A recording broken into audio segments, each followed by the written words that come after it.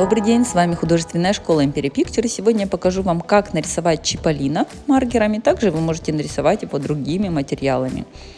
Но мы начинаем, берем простой карандаш и начинаем рисовать нашего чиполлино с головы. Рисуем овал, который немного повернут вверх, в правую сторону. После чего снизу нарисовали еще один овал и соединили его с головой. Вот у нас уже получилось тело. Телу мы пририсовываем ножки снизу. Также формируем ботинки нашего чиполлина с небольшим таким э, э, поворотом, надворотом над ботинками. Прорисовываем ботиночки буквально такими овальчиками с острыми краями. После чего мы начинаем одевать нашего чиполлина в одежду. Рисую сначала воротничок, после чего уже вырисовываю более четко голову чиполлина. Также на голове у чиполлина есть тот самый хвостик, да, или луковые стрелы они еще называются. Этот хвостик будет состоять у нас из трех таких луковых стрелок, ну и небольшой такой шелухи, из которой как раз таки они будут выходить. Это все прорисовываем и убираем сразу все лишнее. Старайтесь сразу подтирать то, что нам не нужно, и то, что нас отвлекает.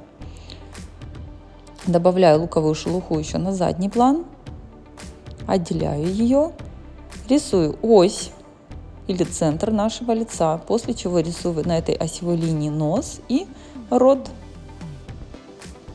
Далее с правой и с левой стороны от осевой линии мы рисуем глаза. Старайтесь, чтобы расстояние до осевой линии от глаз было одинаковое, для того, чтобы лицо было симметричное. После этого мы переходим на руки нашего чиполлина. Здесь все не так уж сложно, как кажется на первый взгляд.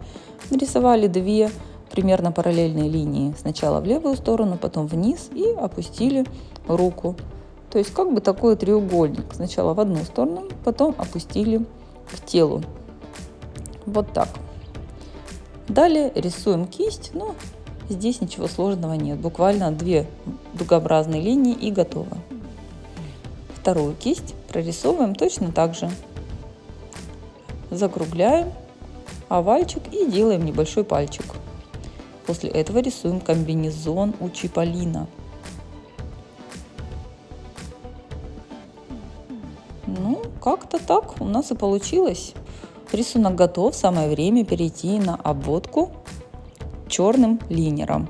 Берем черный линер и начинаем обводить наше изображение аккуратненько, все перепроверяя четко прорисовывая линии. Здесь мы ведем одну сплошную линию. Не нужно ввести штрихами, да, как а, простым карандашом. Здесь линия должна быть четкая и уверенная.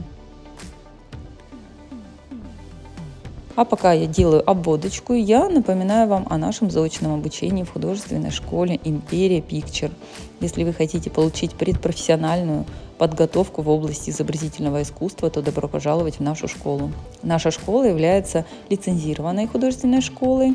А, на сегодняшний момент э, мы находимся в городе Краснодаре. У нас 7 филиалов открыто и обучается очень много детей вы можете закончить нашу школу, не выходя из дома, не приезжая к нам в Краснодар.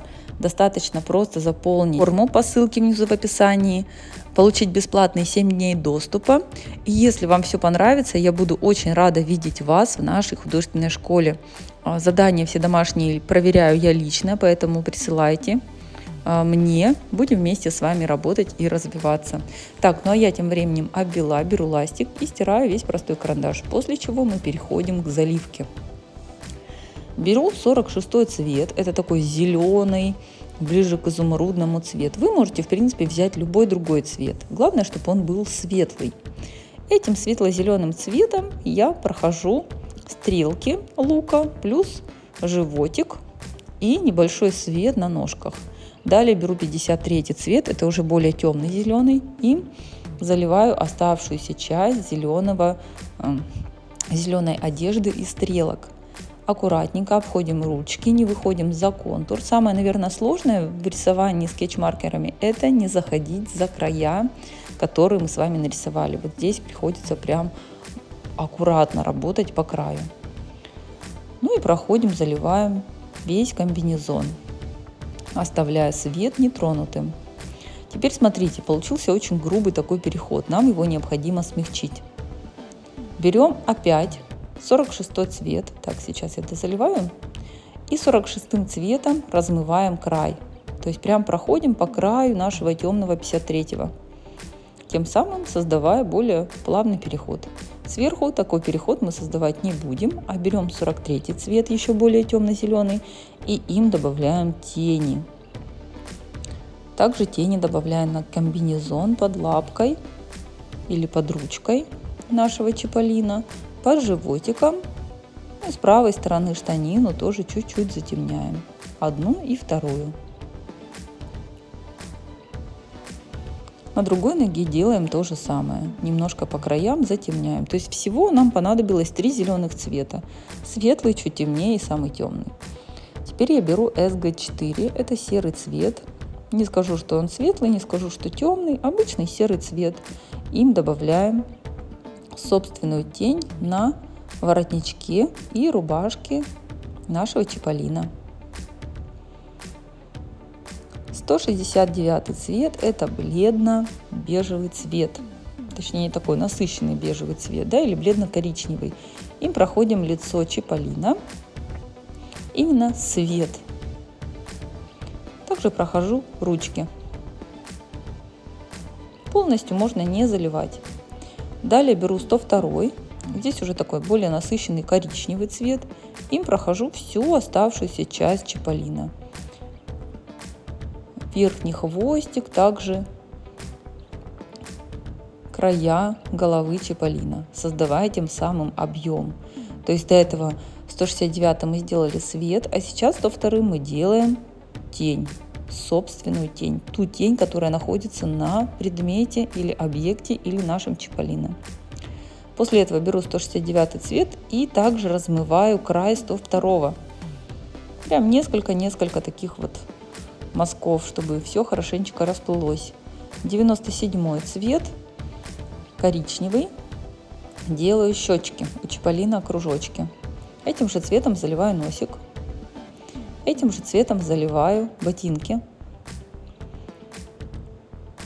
После чего 102 цветом немножко усиливаю близкое место к зрителю, создавая рефлекс в тени, то есть небольшую световую полосочку по краю. Также заливаю этим цветом ротик. 98 цвет темно-коричневый и делаю собственную тень на ботинках Чиполлино, оставляя небольшие такие световые пятна. Этим же цветом заливаю а, хвостик внутри, около стрелок. Также добавляю тень на носике и во рту.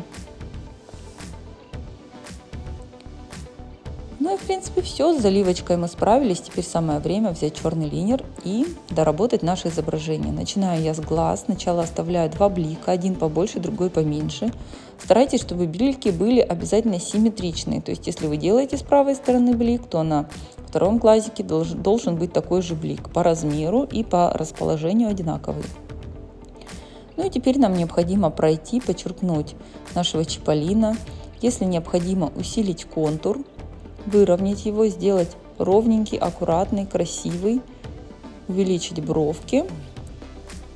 Ну и в общем нашу работу доработать. Не игнорируйте этап прорисовки черного линера и доработки изображения, потому что он всегда улучшает нашу работу процентов на 30, наверное. То есть даже если вы думаете, что вы завершили, то нужно обязательно пройти, еще раз уточнить. После того, как вы все подчеркнули, берем белую ручку и проходим по нашей работе, добавляя блики, добавляя точки, добавляя блеск и объем нашему изображению. Вот так замечательно у нас выглядит уже скетч. Белая ручка – это неотъемлемая часть скетчинга. После того, как все готово, подписываем вашу работу вашей же подписью и присылаем мне в Инстаграм Империя Picture онлайн. Смотрите, ссылочка есть внизу в описании. А я с вами прощаюсь. До свидания, друзья. До новых встреч. Рисуйте вместе с нами и не забывайте ставить нам лайки и оставлять хорошие, добрые комментарии. Всем пока.